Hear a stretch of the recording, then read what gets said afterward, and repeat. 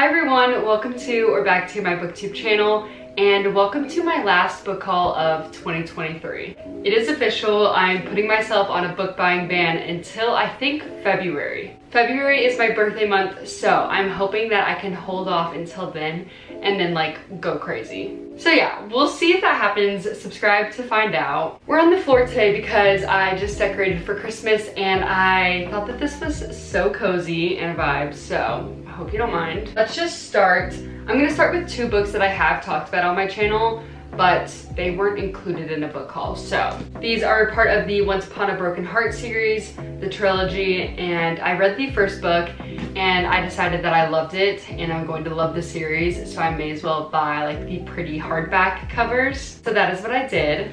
These books are so gorgeous.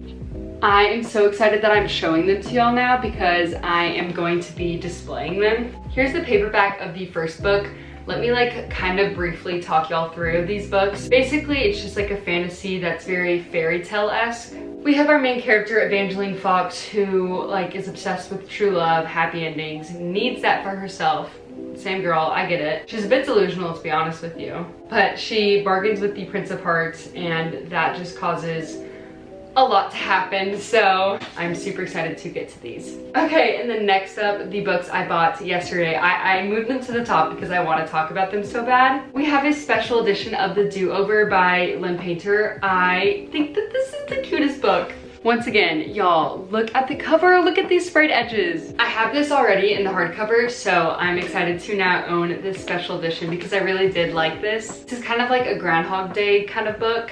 It's also a young adult romance if you're not familiar. Basically, we have Emily, our main character, um, waking up over and over on Valentine's Day and she has to rewatch her boyfriend cheat on her like every single day.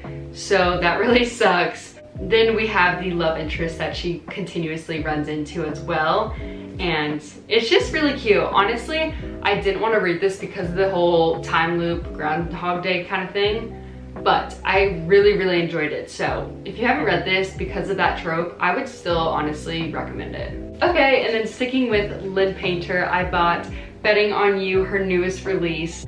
I am so, so happy I picked this up. Ugh, and it's hardcover. I actually don't know what this is about. Let me briefly read it. I literally just saw that it was Lynn Painter and I bought it, so. Do they fake date? Hell yeah. Okay, and then it seems like they're also going through kind of like family issues and all of that. So, I'm so excited to get to this. This will probably be read in January, so stay tuned for that. Next up, we have Never by Jessa Hastings. Y'all, look at this cover. It is stunning. So I haven't read, oh, okay. I thought it was a Peter Pan retelling in the sense of like different characters, different names, just like the same vibe. But just from looking at the back, it says Neverland Peter and all that. So I guess this is really staying true to the whole like Peter Pan thing. I don't want to read any more of the back. I have obviously loved the Magnolia Parks books so I'm hoping that I love this one as well. All right, and now we're going to get into the rest of the books that I bought at Half Price Books while I was visiting my hometown. Also, I'm so, so sorry. I'm not going to be able to peel off these stickers myself, so they're all gonna have stickers on. I'm sorry. They will be taken off soon. First off, we have From Lukov with Love by Mariana Zapata. I have not read any of her books, and so I'm so excited to read this. I was literally thrilled when I found this used and it's not in the best condition. It is definitely worn, but that's totally fine. That's what you have to expect with secondhand books. I'm glad I was able to give this book another life. Damn, this book is huge. This is a romance book that's over 500 pages. I have never done that before.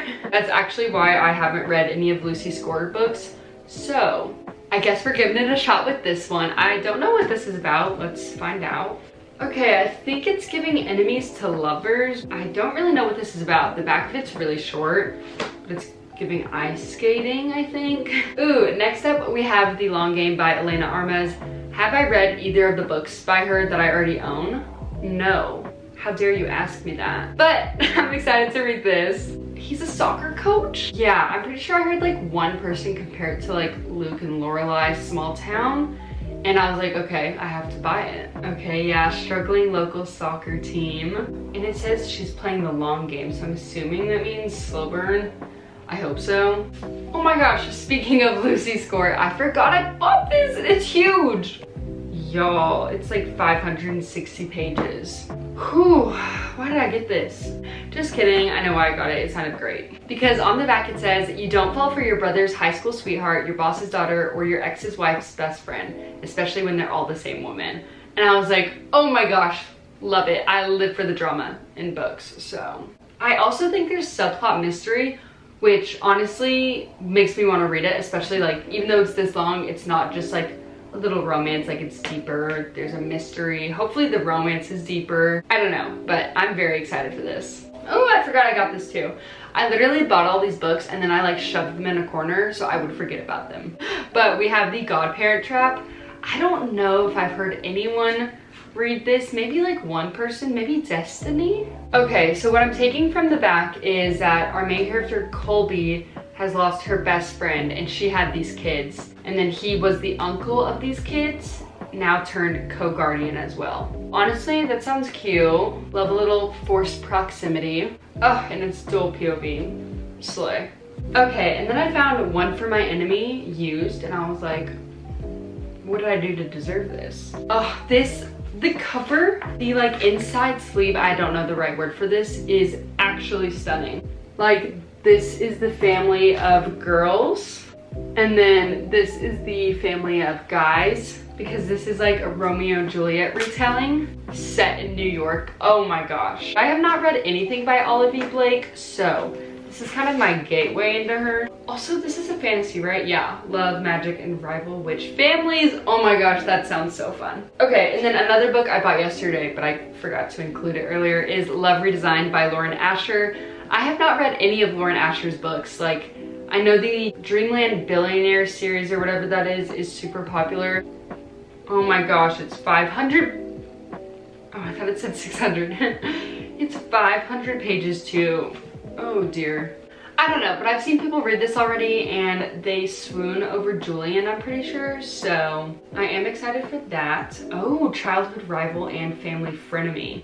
Cute. I don't love childhood friends to lovers, but if a little like enemy plot is in there, maybe I will like this more. Here's our stack. We'll put them back by the Christmas tree. That's the cutest thing I've ever seen. But yes, thank you guys so, so much for watching. Please let me know if you have read any of these books and what your thoughts were.